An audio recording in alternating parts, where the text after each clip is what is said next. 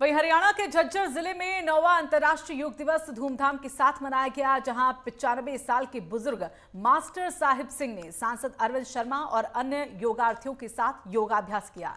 बता दें कि एथलीट मास्टर साहब सिंह दौड़ में अब तक कई स्वर्ण पदक हासिल कर चुके हैं। पिछले साल भी खेलो इंडिया समेत कई अन्य प्रतियोगिताओं में मास्टर साहब सिंह ने स्वर्ण पदक हासिल कर क्षेत्र का नाम रोशन किया था चक्कर आते हैं वो इसका अभ्यास ना करें गर्दन को विपरीत दिशा में दो बार दोहराएँ नौवा अंतर्राष्ट्रीय योग दिवस मनाया गया है।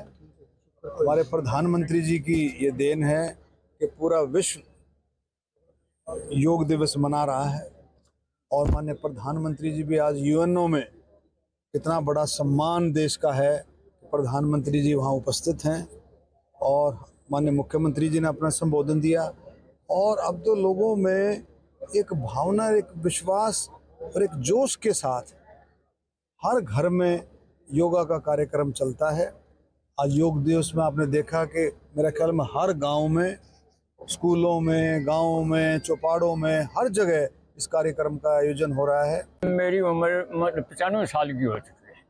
हाँ तो मैं योगा यागा में भी हिस्सा लेता हूँ और दौड़ में भी मुझे इसमें खेलो इंडिया में मतलब उसने इसने अपने मंत्री जो है ना, इसका खेल मंत्री, उसने सम्मानित किया था और फिर डिस इसने सीएम साहब ने मुझे बधाई दी थी। तो मैं अपना, ये मुझे शौक है और आज भी आपके सेवा में मैं आया हूँ।